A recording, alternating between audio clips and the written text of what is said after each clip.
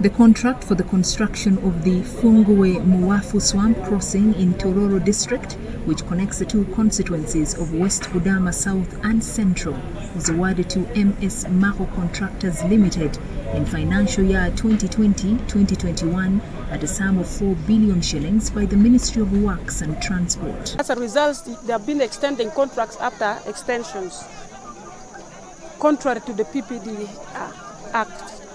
Therefore, I realize that uh, due to this constant extension of contracts, government is going to lose a lot of money. Because work which should have costed government only 4 billion, I'm hearing that the extension can now even reach up to 7 billion on this same road. So the contractor is causing government a financial loss. State Minister for Economic Monitoring, Beatrice Akelo, has given the contractor up to 25th of this month to declare the date for project completion or face arrest. I have directed that they should hold the site meeting and the contractor should give the specific period which is going to complete this work. Otherwise, we are going to direct for his arrest because he's causing financial loss to government. You cannot extend this work more than six times. The contractor could not be reached for comment.